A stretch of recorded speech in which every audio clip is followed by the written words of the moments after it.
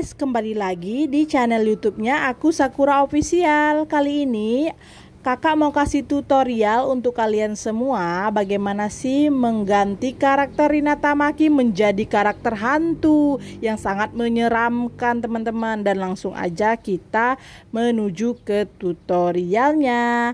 Dan kita klik titik tiga atas ini lalu kita klik cara edit di sini kita scroll ke bawah. Eh, ntar dulu kita kameranya kita ganti dulu ya, guys. Kita dekatin supaya lebih jelas dan kita ke cara edit. Lalu kita ke bawah dan di sini ada namanya color. Kita klik aja colornya. Di sini kita ganti menjadi warna putih. Nah, seperti ini dia sudah jadi pucat ya, kayak hantu. Namun selanjutnya kita ganti matanya seperti ini biar mengerikan. Lalu kita ganti dia menangis dan uh, kita klik tanda panah ke samping supaya warna nangisnya jadi warna merah.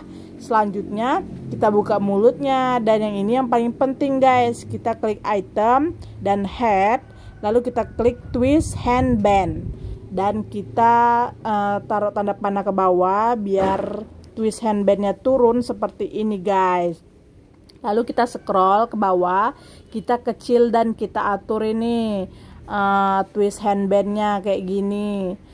Nah seperti ini ya kita atur aja sendiri kalian mau darahnya banyak ataupun dikit ataupun kayak gimana itu kalian bisa atur aja di bagian scale ini.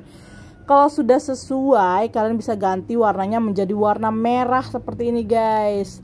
Nah seperti mukanya sedang hancur ya guys Oke, setelah itu jadi deh. Nah, kita bisa atur aja nih mau gimana dan ini dia hasilnya hantunya. Dan kalau mau lebih serem lagi kita bikin jadi mode gelap ya supaya suasananya lebih menyeramkan. Di sini kita langsung aja klik simple vlog dan kita tanda panahnya ke arah kiri. Oke, ini dia hantunya guys. Oke guys, inilah tutorial dari kakak. Mungkin kalau ada suara-suara yang berisik, ma mohon maaf ya karena ini lagi di luar angin guys.